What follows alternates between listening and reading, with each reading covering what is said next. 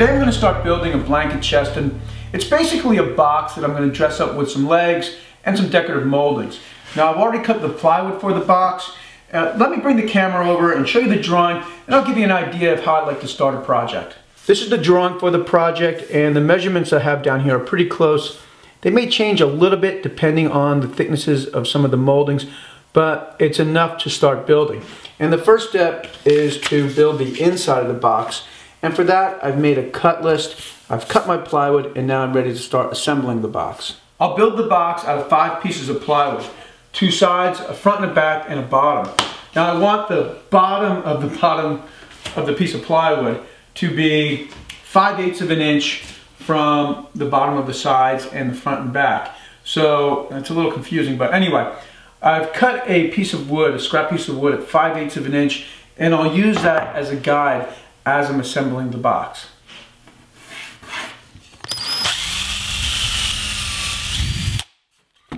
I've pre-drilled and countersunk a few holes, and now I can attach the sides to the bottom with a little wood glue and inch and 5 eighths screws. And I'm making sure that when I attach the sides to the bottom, that the bottom of the bottom is right on that line that I drew using the block of wood as a guide. And you can see that the block of wood is flush with the bottom of the side.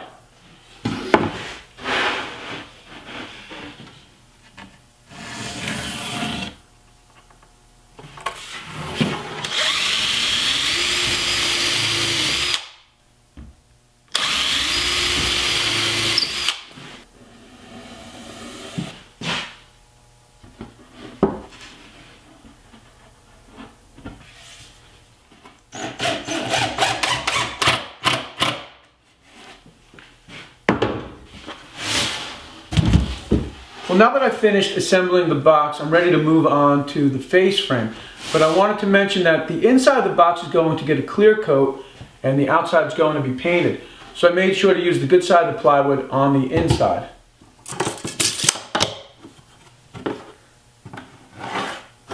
Well, I've taken a minute and drawn out the panel in the center and on the sides. And from there, I'll make a cut list. I've finished the cut list and now I can start to mill all of the parts I'll need for the face frames. Real quick, just to help you better understand a cut list, basically I've got a quantity on the front here, that's my two, and this is my width, three and a half inches wide, and my length is 10 and three quarters. And what I like to do to stay organized while I'm making the parts is once I rip all of my material, I'll put a check mark. And then eventually when I've cross cut all my material, I'll put an X. And then I know that I'm done. So basically, the, the cut list tends to go like this. You sort of rip first and then cross cut next.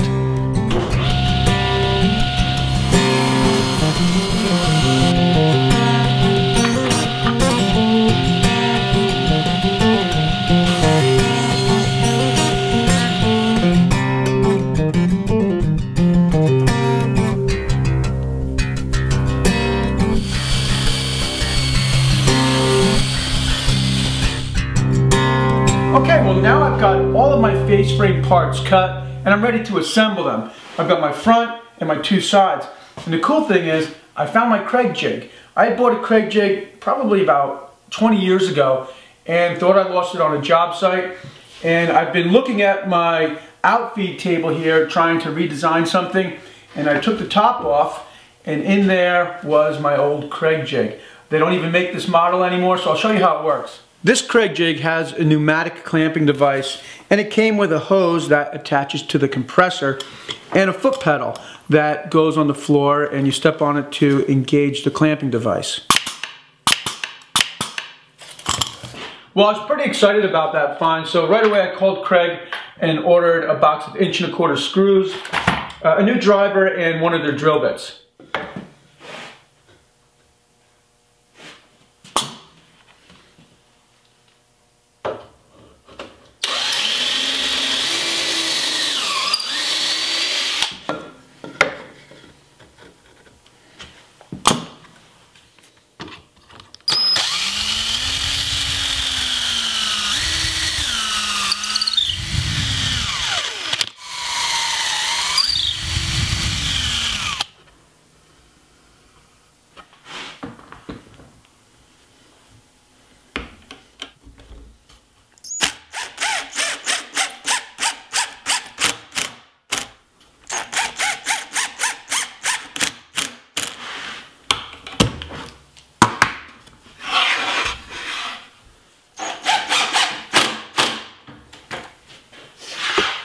Well, now that I've got all of my face frames put together, the next step is to pre-drill and countersink a few holes so I can attach the face frames to the box.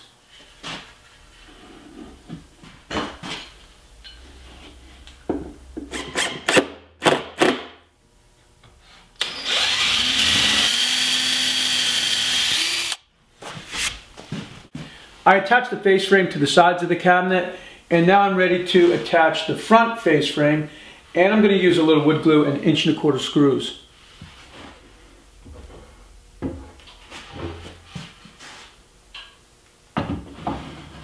I'll hold the face frame in place with a few squeeze clamps and two or three nails will keep the face frame from moving around when I go to attach it permanently with the screws. Once I've finished attaching the face frame to the cabinet, I gave the whole cabinet a good sanding to make sure all of my joints were nice and flush because the next step is to make and attach the legs. Now I've made one of the legs and they're not hard, but it can be a little confusing so I'm going to really take my time here and show you how I made the legs step by step. Before I get started building the legs, I thought I'd show you the one that's finished just so you have an idea of what I'm going for. The first step was to cut four boards at two and an eighth and four boards at one and five eighths and then resaw them at a half of an inch. The overall length of the legs will be about 22 inches. So I cut these heavy at 22 and 3 quarters. And the next step is to glue and nail. You want to nail through the 2 and an eighth inch wide piece of wood into the inch and 5 eighths wide piece of wood, making sure you're flush at the front. I'm using an inch long nail and I'll make sure that I'm about two and a half inches up from the bottom of the leg. I also want to make sure that I'm about two and a half inches down from the top of the leg.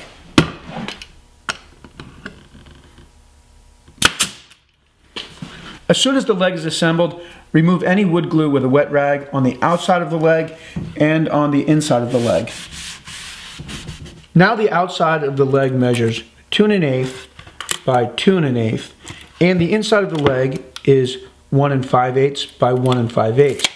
So I've milled a piece of poplar on the table saw down to one and five eighths by one and five eighths, and I'll use this as a filler at the bottom of the leg.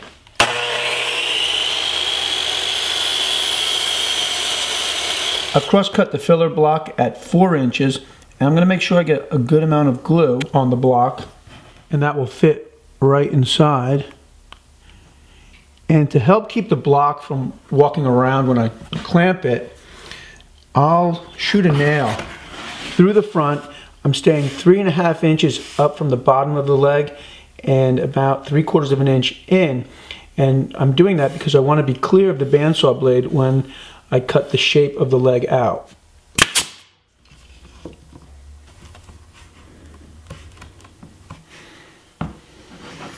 And you really want to get rid of this glue before it sets up. And a good tool for that is an artist paintbrush soaked in water. This is a leg that I glued up earlier this morning and I'll unclamp it and we'll cut that pattern into the bottom of the leg. Now I'm going to make the pattern and that's the curve in the bottom of the leg.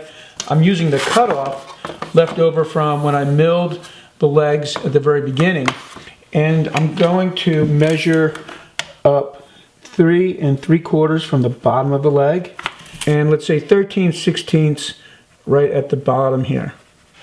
And I'll square across at the three and three quarters.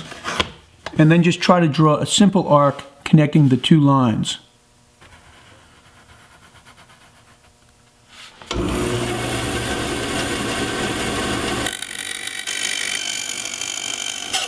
I've cut the pattern out on the bandsaw and now I can use the same pattern for all four legs.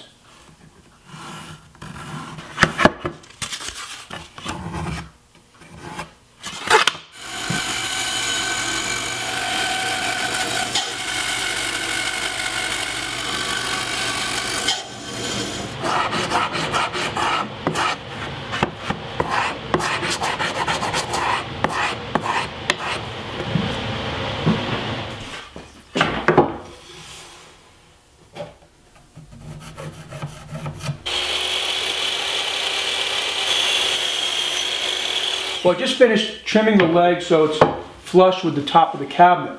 And that's why I held back a little bit when I nailed the leg together. I held back about two and a half inches and that was so I was clear of the saw when I went to trim the leg up for its final fit.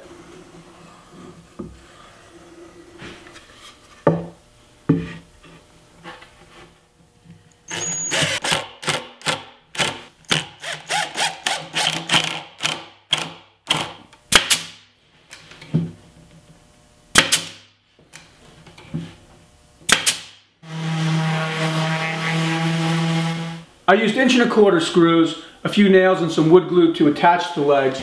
And the next step is to start to trim out these panels and for that I'm using a small base cap molding.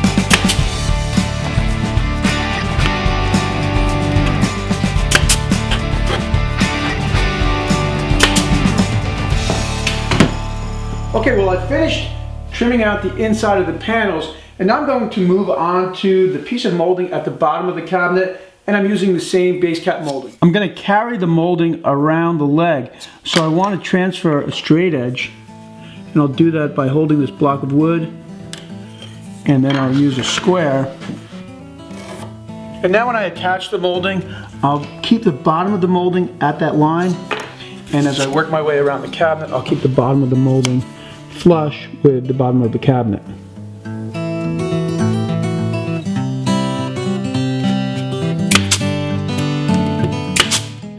Let's take a closer look on how to do one of these inside miters. So I've cut an inside miter on the piece of base cap. I'll hold it tight against the cabinet and put a mark right at the edge of the leg. Now I'm back at the miter saw and this little piece here, this is the piece I need so I'll have to keep my eye on it when I cut it with the miter saw.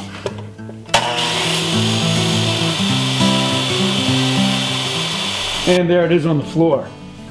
I'll check it to make sure I have a nice fit. And that looks pretty good. So now I can cut the longer piece of molding that goes along the bottom.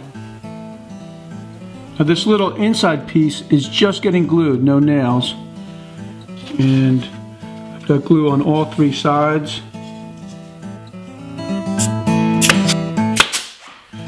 With the molding at the bottom of the cabinet and now I've moved on to the top and what I want to do is cap the end grain of the inner plywood box and I'm going to do that with a piece of poplar that I've ripped to 2 and 7 eighths and then resawed to a half of an inch. And what that'll do is give me a little bit of a lip and then underneath that lip I'll run a piece of cove molding.